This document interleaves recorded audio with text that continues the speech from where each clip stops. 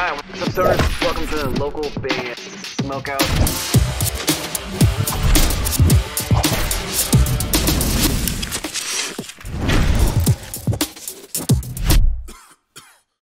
Eric of Traverse the Abyss in the building. hell yeah!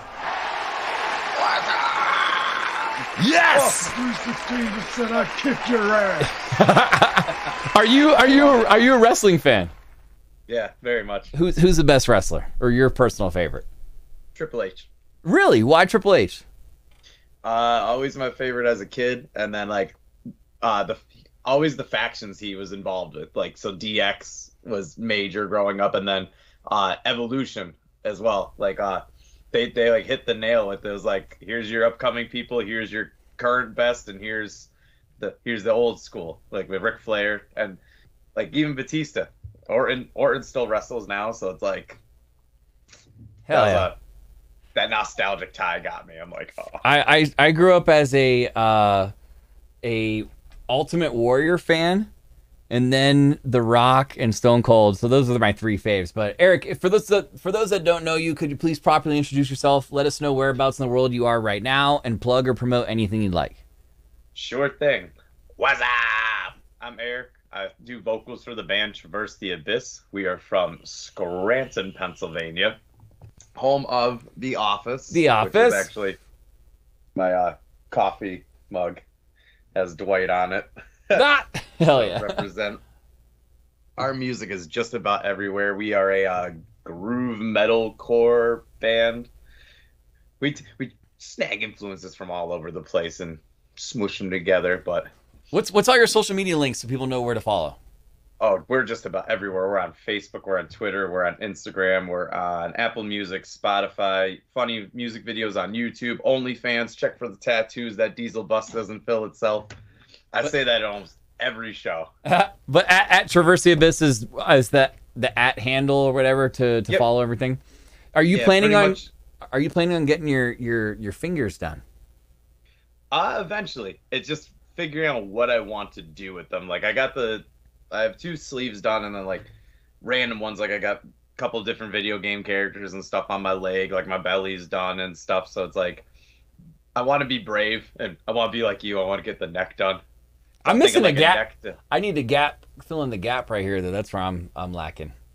I can't decide, so I keep doing other things in the amidst in between. But um, that was was getting me for the longest time because like until I decided to do this sleeve because this sleeve is basically what my dad has across his belly, and uh, like most of this one is like we have like the Deathly Hallows, we have the Slipknot Tribal S and stuff, but then I've tied it all in with like a, a negative wash, like Mhm. there's music notes and stuff in there. But I always wanted to do just one continuous full piece, so I bit the bone because I was always working on a part and then I would stop and go get another small tattoo and stuff. And I was like, nah, I'm fucking committing to this sleeve. I'm doing it. And yeah, now I'm actually very satisfied now it's done. Let's pop up in the chat. odd question: What book are you reading that's on your keyboard behind you? What book am I reading on my keyboard? So this one is the almighty piano chords. Okay, gotcha. But um, actually, I, I I I had to double check because I am reading a book at the moment too. Um, the book I am currently diving into is Tony Robbins' uh, "Money Master the Game." So Tony is uh, quite an astonishing human being for uh, driving and getting people inspired and pushing forward. So uh, finances was always something that I like didn't push myself into enough to like learn about. So now it's like it, the way he presents everything is like bare bones. Like here, don't go to these fucking mutual funds if you want to invest money, bro. Look at all this. These are the percentages of the stuff you're taking, and over ten years, they're taking te- this, like this amount of money off you and stuff. So it's like a little bit of eye opening. I got really, really into over the past like couple months. Is uh, I just get burnt and read like self help books or like listen to like uplifting positive uh, podcasts and stuff and like now i'm like it's like reflecting out because now i'm like preaching the good word to people and that's all cool. that kind of stuff but uh, I, I feel the reflection like uh, that positive mind positive outcome it's just like It comes back to you. It comes Yeah, back to you when you put it out. It comes back to you. relative Hell yeah. Let's talk Franken Shuffle. What is Franken Shuffle about, and why did you write this song? Franken Shuffle is just a fun jam that was uh written to be more like just kind of a represent Scranton hometown fucking uh tiddly little thing. And uh we wanted to do more of the uh new metalcore type approach with the song, so like more like in the uh more like a rap style verses while it wasn't as overtoned in like uh, we'll get we'll get the vocal people mad. Oh, my fry screaming and false chords and all that. Like instead of putting like overtone onto the notes, I wanted to more or less enunciate and accentuate what I was the vocal line and just add like a little bit of grit to it. So it was like for me as a vocalist, it was an artistically a different approach. Um, couple parts it was like more like a clean yell as opposed to like the big hey kind of stuff. But uh, yeah, so that was fun. We wrote this song for Smiling in the Suffering EP, which came out back in June. And uh the video itself kind of came from our song Faucet Mouth because we were dabbling around like doing a funny video.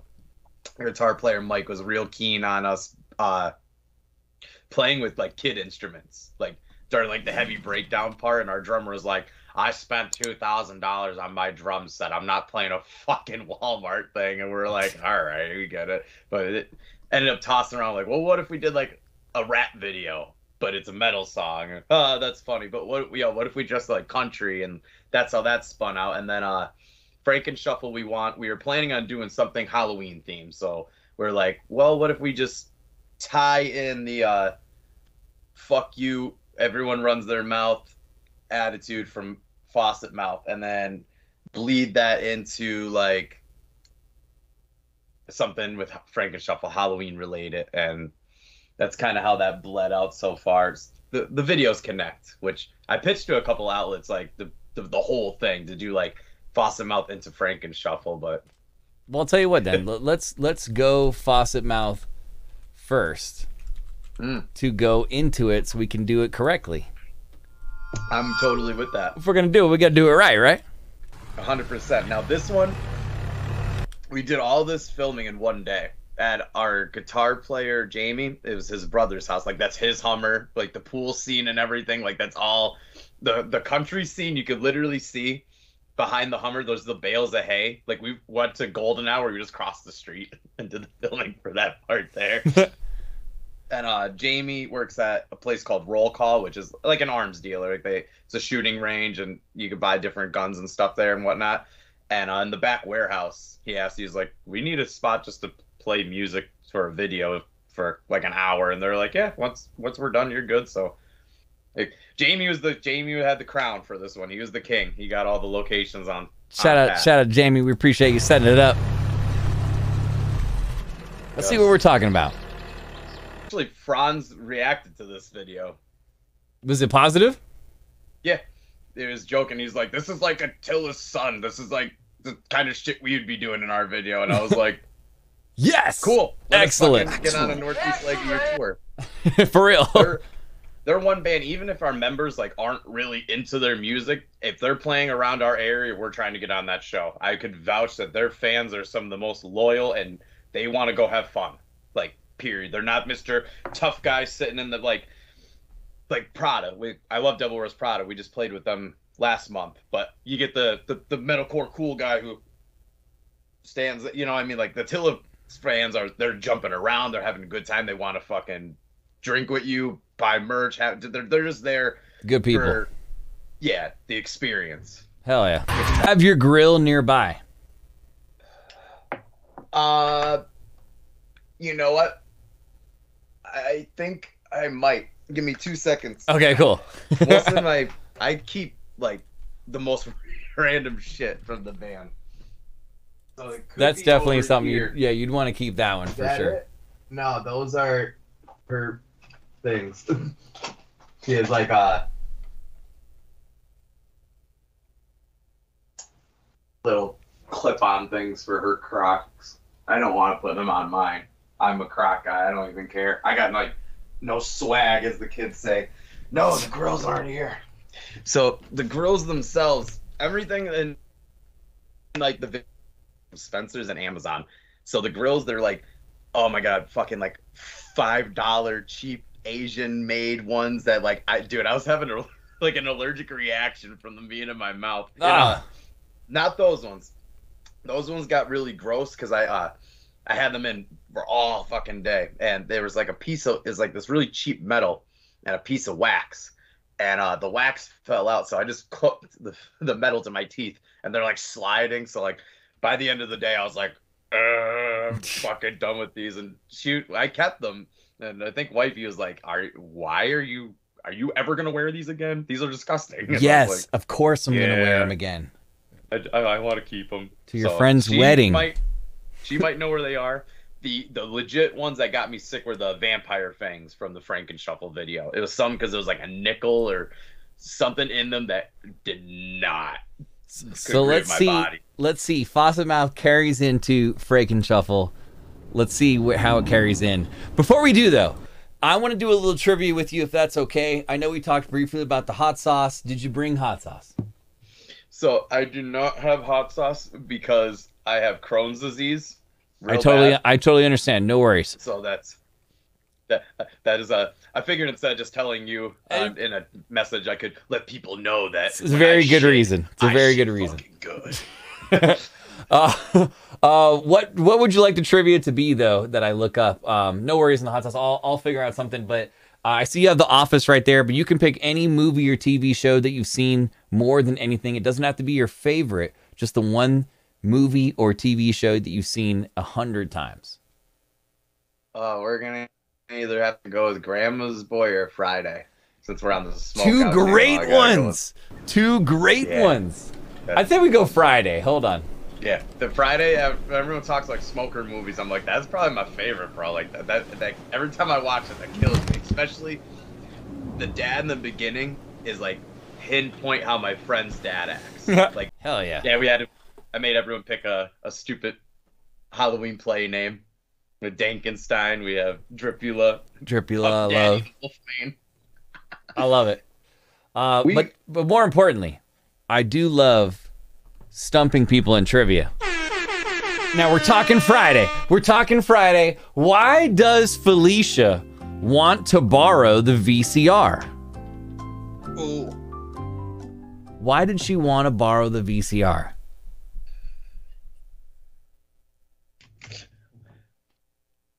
Wah. Oh my god, No, it's a hard one. that that one is a good one. Fuck. She tells him this before Craig asks his girlfriend for money. Felicia messes that up for him.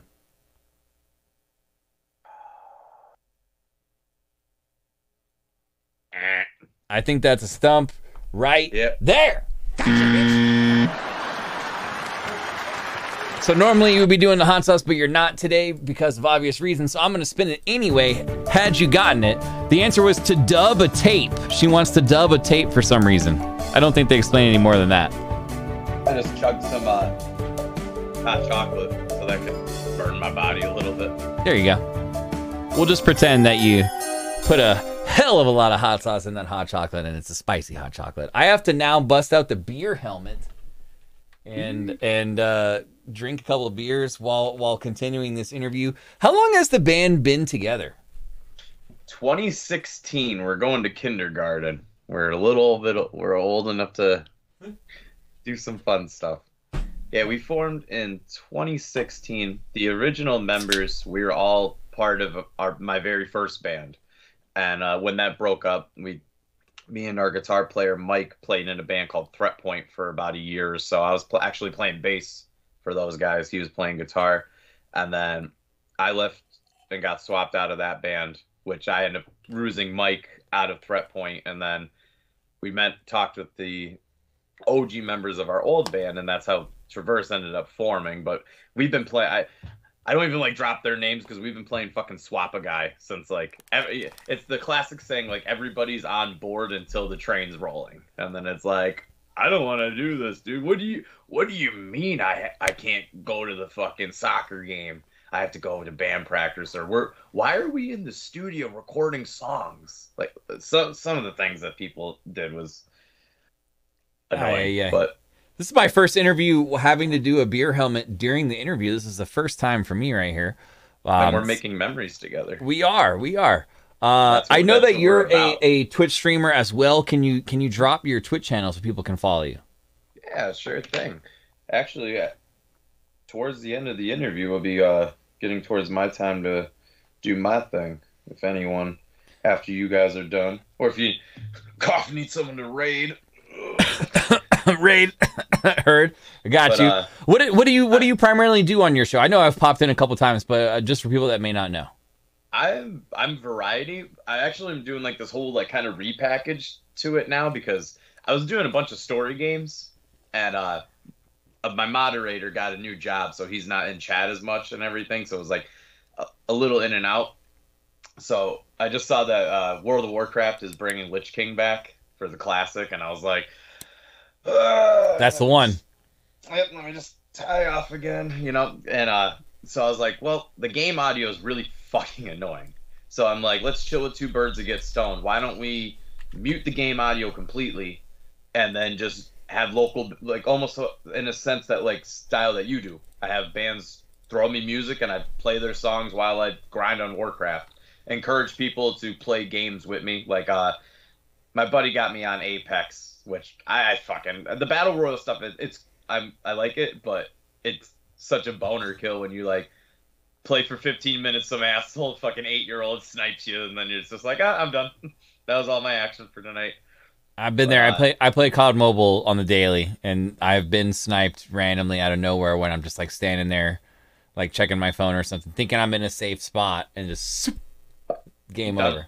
and then you gotta sit back in the lobby, and it's like, uh, Halo Infinite I was playing as well, but I felt like it was just making my stream lag. Like it was very choppy, which was like, uh, but I jumped the gun and I did WoW. So currently we're doing WoW Classic with some unsigned bands and God of War is coming out, so that'll be the next story game. I really get into single player games. Okay. Selfish. I don't. I don't want to play with people. Yeah, it's all good. Uh, so we're about to jam some Only Human, but I do want to try one more Friday trivia with you. In the movie, Hopefully this one I know. in the movie, it is actually not known how much money he owes Big Worm. They don't specify. Sorry, that's me getting too close. They don't specify.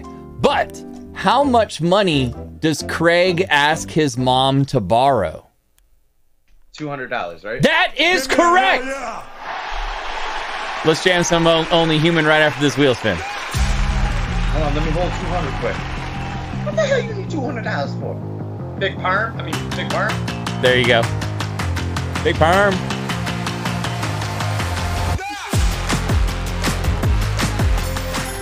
Mama, this ain't enough. This ain't enough. I love it. Only human, baby. That's what we are. I'm gonna do This a is shout. the- We're putting positivity in the air, left and right.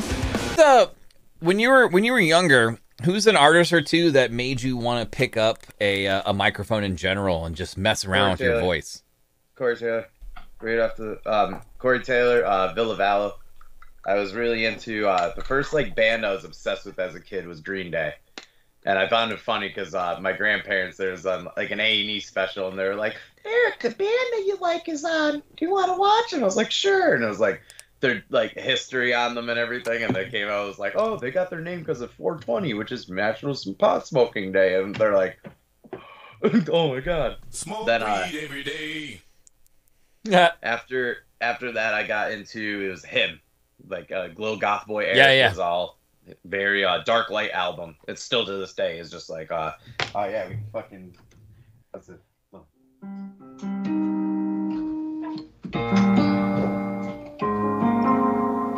I've been picking up on some of the him songs on keyboard as I'm dabbling. nice. Um, then metal wise, it I got sucked in. It was uh, people give me the looks. At Disturbed was one of the first metal bands I really got into because uh, it was a wrestling pay per view when uh, they had John Cena was the fucking guy. Like Mm. didn't matter Kurt Angle, this one, that one. No one, no one beat him. No one beat him. And uh, they had Edge cashing the money in the bank on him. And that was the first one. Edge was getting the big come up. So I was like, fuck yeah. all around. And uh, the pay per view where they had to go and have the rematch, they had uh, "Stricken" by Disturbed as the song, and I was like, "What is this?" So that led to uh, like System of a Down and shit like that. Like even uh, prior to that, I would say right alongside with him was uh, My Chemical Romance. Like Yeah. even still, Gerard Way is like. uh, you, you hear right in that album, you hear like the uh same with Black Parade, you hear like the Misfits, Bowie influence and everything. It's so Queen, like ugh. And then uh my buddy showed me Slipknot shortly after like System of a Down and stuff, and that's when I was like, Ooh, what is this? So what that is that's, this? That's really, really what fucking sold me on metal was Slipknot, and still to this day, that was like, yeah, that's that's Ch- my band. Chad wants to know if you, when you play shows, do you wear your glasses? You know, that's a that's actually funny. For the years, I did not. I refused because I would like almost injure myself, like headbanging and stuff like that. And I was like, my glasses are on my face; they're gonna go flying. Blah blah blah. And then it was not the last weekender we did. It was the one before that. All the I went to go change into my lenses, and my right lens was not in the lens case. So I was like, "Fuck." Where are you? and then uh but i had my i had i have two different sets of glasses. These ones i had my uh hipster metalcore glasses on. They're the big thick rim ones. Okay. so uh i i was like well i'm playing with my glasses. And it turns out i i almost kind of enjoyed playing with my glasses on more because i wasn't jumping around and headbanging as much. Like i still was but it was more in control because I don't want my fucking glasses to fly off my face, which ultimately helped me save on uh conservation with my breath so my vocals like uh, p- people that have watched us several times came over and they're like yo you you were like on vocal steroids tonight like so that hearing that back So like the stand, the stand and deliver because you have the glasses on. Melissa Cross shout out is what is Yep. what it enhanced the vocals to an extent. You could always get the little break aparts that have you know the little hanger thing, but that's Nerd City. Uh, Maybe maybe not. I like I that's actually a, a great question Hell Uh, yeah. my- I'm surprised. A couple of my coworkers said they were gonna pop in. He he had one specific. He wanted to know what's our my least favorite song out of our discography, and I was like, What a weird question. I I'm hate like, yeah, this I'm, one. yeah, I'm used to the opposite. You used to what song do you like to play the most? And it's Right. like, I don't fucking know. It depends on the mood. Depends on the crowd. Um, but Let's- yeah, that let's do let's do how about uh, uh, a guest vocalist that you want on a song that uh, is very doable maybe just the the fundage or the timing hasn't worked out I, I have a couple, but doable is not probably. Well, I mean, possibly doable. I don't know if we monetarily we could afford that. Let's see, somebody that would actually. well let's go let's go the this one cost 10 grand but who cares we have the money now to get this guy on a song who's that guy I think the bucket list is like I, again Corey Taylor, but like aside from like super super high stardom, I would even say like because we're from the same area, like uh, having Ben from Breaking Ben or Chris from Motionless In White sing on one of our songs would be like that'd be like the quintessential like I fucking I'm I'm good. I did. it. mama i made it that's the mama i made it mode moment like- right there we got to play with Motionless before and shit too, which was like that show was something else. was that one of the bigger crowds that you guys have ever played for Yeah, that was probably the largest. That venue it was on the third floor. They had no reason no right or reason of being on the third floor.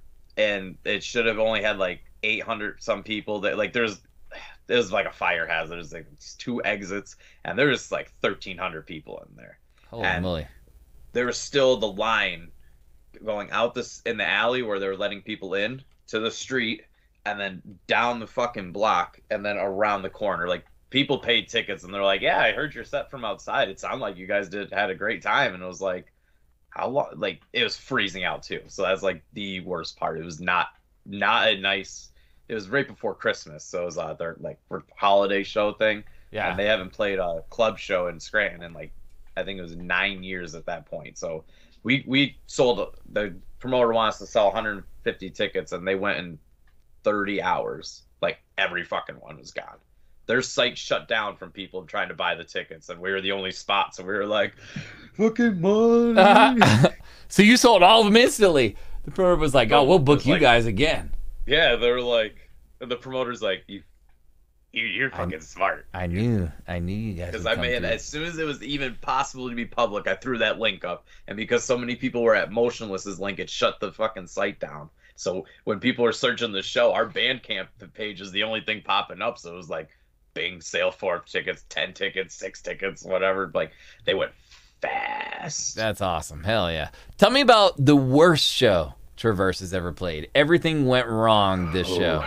the Trish stock. It was up in Oswego, New York, and we played with our first band years ago, and it was this cool like. I like. It's like Woodstock, but they're all into death metal. Like everyone there's just tripping and smoking and just they want to watch the bands, but they don't. They don't want jam bands. They want the harder and more death metal oriented you are, the more they're okay with it. Mhm. And uh, they we went to go play with Traverse, and we were like, oh man, you know this was that wasn't a bad gig a couple years ago at the other band, la da la da.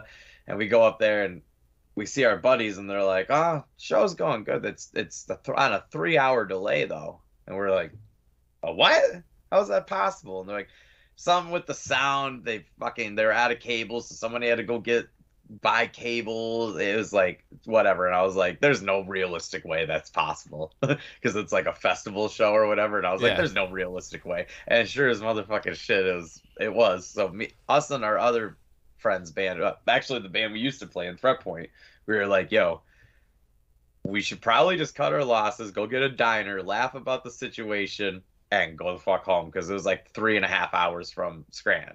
Mm. And they're like, yep, yep, yep, except their vocalist. He goes, no, I fucking drove all the fucking way up here. We're playing the damn show. And we're like, okay. So our drummer's just like, all he hears is that we're going to go get diner food and go home. So he, we, with the, these type shows, what we like to do is we'll buy like a case or two of beer and throw like a, the keg up because we know everyone's up of age and shit. And we're just like, yo, free beer, come hang out by the stage. So that gets them out of their tents and everything and actually up to the stage because they have no problem chilling in their lawn chair watching you Right. instead of coming up. So that gets all the people up. So our drummer starts just cracking beers, and it's just like, if so facto, the night rolls on. There's a power outage. The band that's on stops. Uh, Well, I mean, yeah, but the power comes back on, and they just pick up where they left off.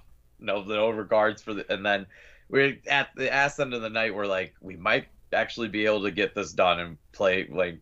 So So, so three hours before after you were supposed to start, essentially, if not longer, you're finally on stage. Yeah, it's just about that time. There's a band before us that's on tour from Massachusetts, and like we're talking to them like, "Yo, do you guys care if we you guys play a shorter set? We're we're gonna play a shorter set that way we could get it going." And they're like, "No, we have a 45 minute tour set booked. That's what we're performing." And we're like, "It's- "Is reality not with you? Do you not understand like what a shit show this is?" if so facto they play their 45 minutes and the the band we were uh that we're talking about going to the diner with threat point we're like yo you guys use our gear. Don't just use our yeah, our heads whatever. Just fucking play a couple songs. We'll swap we'll play three songs and we'll bounce. And that was like the shook in hand agreement. We'll play three songs each and get the fuck out of here because it was getting towards like one o'clock which was like shut off time or something Right. and they're on stage. They get song with song three, and we're all like with our gear, like going to walk over. And the vocalist looks over and he goes, "They said we're good, so fuck it." And into the next song, and we're like, "Bro, what the fuck?" So then, uh, oh, I think it was our bass player at the time yells at him. He's like, "Get the fuck off stage, dude. We gotta get on." What? the-" So did you get to like, play? We did get, yeah, we did end up playing. And now by that time, our drummer for hours has been slamming beers. So he's up there and he's feeling good. And he hits the cymbals. His cymbals fall over and everything. It falls over and it bumps something of mine, which knocks my beer over. And then the beer's running. And our guitar player's like, dude, that's going to get all over my pedal. That's why you don't put the beer back here. And so he, it was one of the only shows that he just like shut his amp off and was like, dude, like, you guys play. I'm, I'm good right now. And uh, Yeah. so he like funny teach, he, so you're playing and the guitarist takes like his stuff off the stage. Yeah, it was like our encore song. It was the la- the third song we were playing, and he got like halfway through, and he's like, "Bro, I, this is I'm I'm good right now," because like our drummer shit's falling over. He's playing like so bad, and even myself, I was just like, "Oh my god." Dang, that is a bad one. So I, I have a we had- fairly I barely had service, and uh, when we were, we were fuck leaving, I get a message from the promoter lady, and she's like, "I'm sorry, blah blah blah. Like you got, if you guys want to leave, that's okay. I, it's blah blah blah. Like a little like hours before we played. So it was like we had. She even was telling us to head out, and if I got that message on my phone, we would have. yeah. But Ay, yeah, yeah. as shit. I have a, a fairly similar short story. Uh, I used to be in this rock hip hop band called Hit 'em, and we played a show once where the bassist didn't realize he double booked. He was in a he was in another band, and the other show that he was going to play was like an hour away. And he was like, we were running a little bit behind on the. We were first, and his second band was a little bit later that night. And he was like, he was like, dude, it's getting a little close. I don't know if I can, how many songs I can play. And I was like, once we go on stage, like, we're playing the set. Like, you can't just leave. Sure enough, three songs in out of like a seven song set, he's like, he looks at me and he's like, I have to go. So he unplugs his bass and starts like taking all his gear off and wheels himself off stage. And we're all just looking at him. And we completed the whole set, but we were like, he's out of the band. You can't you can't do that that's neither here or there. Let's continue back to Traverse. But I, I just I hadn't thought about that in years, and it's funny that you just brought that up. Um, if if we, I only have time for maybe one or two more questions. I know you're about to go go live. Um, what what You're doing your thing. what is the hardest song for you to perform Train vocally? Oh, oh, I was just, I thought you were saying hardest song that we have. Uh, hardest song to perform vocally. Like- One of a kind is a mouthful. There's a lot of. It's not that it's hard. It's just I need a lot of maintain the breath pressure because it's just wordy as hell. Uh, Also, it was Rebellion, not Hit 'em. Sorry, wrong band. Correction. I say one of a kind, uh, Royal Flush, and that's that's all off our like debut album too. Like Royal Flush is uh, a mouth a mouthful in the other sense of it's just like extended vocal, like not a lot of room to pop the air. Do you, do you have any there. unusual vocal warm up techniques? Like any Uh, rituals that you always do, like right before it's showtime? Depends on who you ask. If anybody has done any of the Melissa Cross tapes, then uh, it probably won't be weird to them. But uh, to other people, they're probably like, "What the fuck?" Like it's vocally routine. Um, before bed, I have to lay down and do my before time bed breathing, and then when I wake up, it's I have to stretch my face and tongue out and reset my diaphragm and all that. I have my certain set of uh warm ups. Like I have my tape and everything. The I guess the main one that people will get looks at is uh there's a test I do to check your diaphragm pressure. So uh it's it's like a hissing sound, hissing and a buzzing. So when I do that, people always think like something is uh like I know exactly what you're talking about, but demonstrate so people, because people are like, "Who? I don't know." Melissa Cross. I don't know what he's talking about.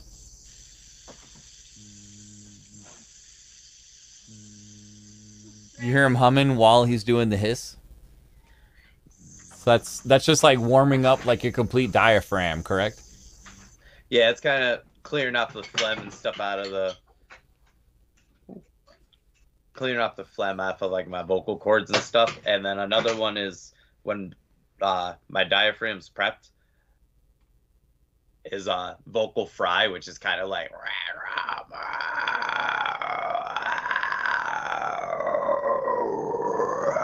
These are like real practices vocalists do. Uh, from from Melissa Cross, she's pretty much like the god of screaming, the zen of screaming, if you if you will. yeah. Um, Her and uh that David dude, Benitez or something like that. He's the Extreme Metal Institute. Like that dude is everywhere right now. Like he is the modern like Melissa Cross, I feel like. He's always he was uh showing on tour like uh Ricky from Motion or not I- Ice Nine Kills. He was showing him like these like like these ways that you build up your vocal and everything. So it's similar to Melissa's, but I actually I want to contact him because like anything you, you the question out of life that we should all be asking ourselves is what don't I know? That's how we grow. It's true. What don't I know? So I want to find like even Melissa Cross, like that's like a, one of my Christmas presents or birthday. I want I want a, a lesson with her. I want to go to New York or I believe she's stationed in New York. In fact, I'll travel out to New York because it's actually like two hours away from Scranton. You know, I'd actually like to do an in person That would be awesome. but I make sure I gotta make sure I brush up on the tapes a couple. Yeah, just make sure make sure you go in like don't wanna be- I, I'm an A plus student. I see in everything that you do. I'm ready to go. And she's gonna be like, all right, posture this, this right away. She's just gonna just gonna hit you. Eric, this has been fun, man. I know we're running out of time, but I do want to ask you one final serious question. I ask everybody on the show this final question. What is a piece of music advice somebody in the industry has given you that kind of changed things or eye opened stuff for you? Or a terrible mistake you made early on in your career you don't want any starting up garage band to make? Um,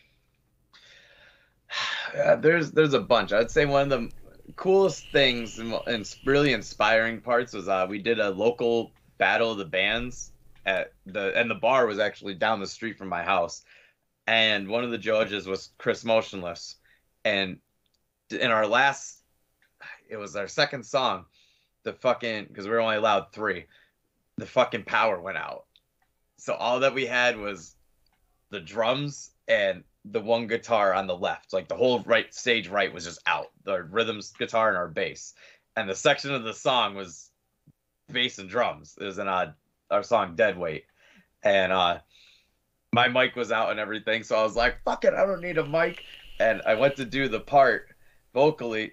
And as I was doing it, the crowd just started to chant it.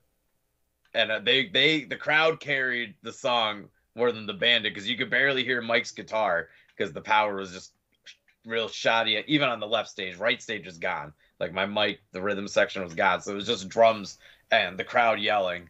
And uh, we asked him like, uh, any advice that you could throw our way is always appreciated. And then he was like, I, I don't, I don't got any secret answers for anybody, you know what I mean? But uh, I would say based on what I saw tonight, do what you're doing because people are liking it and it's working for you. So that that was cool hearing from someone up.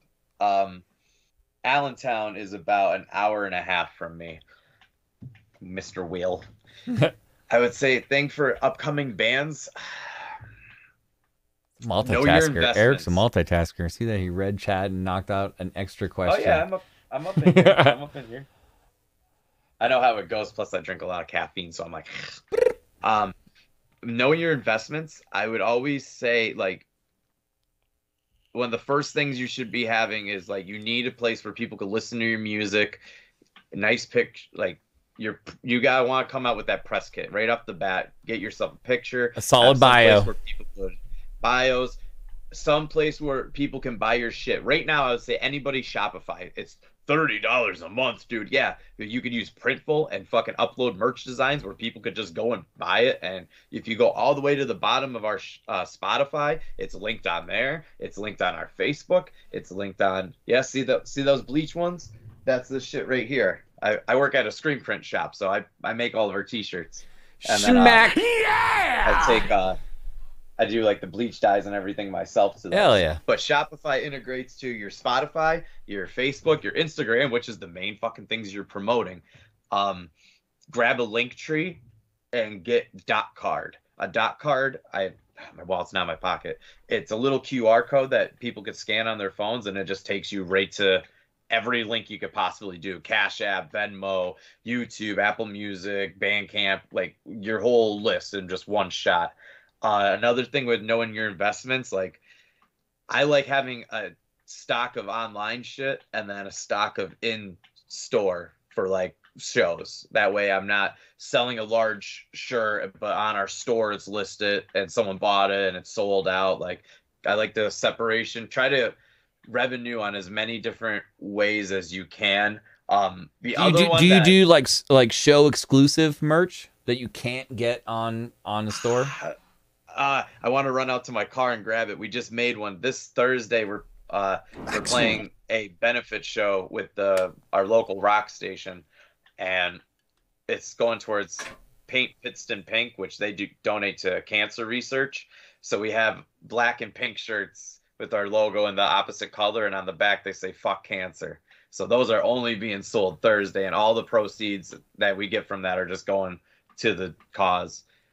But uh, in Flames show we'll probably have like that's the new bump that I'm like super stoked about is the In Flames show and Born of Osiris. That one, boom, it's right there. That's uh, whoa, uh that now that ties me into the last thing I gotta say for bands is know your investments. If a promoter you feel like you're getting raked over the fucking coals. Like stand your ground. Know your worth. Know your value. Know your time that you put into shit because over money and all that shit your time is the most valuable and you're putting your time into it. So make it worthwhile. Don't be fucking scared to push tickets for a show. You are playing to a marketed audience okay i'm going to travel to connecticut and play bar gig where Toby Keith fan in the back is going, "What screaming boy doing up there? How long his parents been not together?" you know, I mean, like you were playing to people in that market, like, and if you have to, and it goes in, if you have to eat your first show, so be it. You got to spend money to make money, but get business cards. They're fucking cost efficient as fuck. Get all your shit on there pass them, leave them on the bar. Everybody that walks past you, throw them on stage. That's the shit we do, and it gets people to see you when you're on stage. Say your name a lot. I hate when think bands don't do that. They'll be like, "Hey, we're from from from Scranton," and you're just like, "Who?" We're we're the we're the I, I'm I'm the cringe band because I get the crowd. I play trivia. I go, yo, what's our band name? Yo, one more time. My drummer beats the shit out of these things. I'm the little deaf. What's our fucking band name? And I'll fucking get that recorded. Like I picked that up from Snow Tha Product. She was opening for Kottonmouth Kings, and she said, I get 20 minutes of your fucking attention. That's it. Right now, I have 20 minutes of your attention. I and if I say my name, the more I say it, the more you're gonna remember it because repetition is key and I picked that right up from her. So it was actually a female rapper who I picked that up from. Yeah, and I know- Used that. She's she's That's fucking. knowledge right there. Eric, this has been a lot of fun, man. And that's some serious, serious good advice at the end for bands that play live. Say your band name over and over again. Because so many times, just like we mentioned, there's people who be like, hey, we're so and they say it so fast. And then if they don't have like a flyer or a banner somewhere because they're a small local, you, you you almost don't know who you're watching. Yeah, they were cool, but like you said, repeat it over and over again. You only Look have at your so much favorite time. band's merch tables. See what they're doing. Say how how everything everything in every industry is monkey see monkey. I'm gonna do that my way. right. You know what I mean? Now, at request, if there's any of our tracks we could play before I have to go, I want to I want to do a heavy one, and that would be Trainwreck, Well, because and- it doesn't have a it doesn't have a music video. It only has like a lyric video and all that shit. I'll play it from That is- Spotify. No worries. We'll, That is the uh this is the song we've been closing with because all, all of our stuff's a little more melodic. So we always end on this note. Like we did uh Chaos and Carnage with Suicide Silence and Carnifex, Lorna Shore and all them. So I always joke, I'm like, here's the song that makes you guys realize why we're here with you guys tonight. Hell yeah. I'll play it right now, I promise. But Eric, I appreciate you, brother. Have a fantastic Thank stream. Look for the raid coming soon uh, whenever we finish this up. Eric of Much love. Traverse the Abyss is amazing. Support his band! Give me a hell yeah. It's a lot of fun, man. Thank you so much. Thank you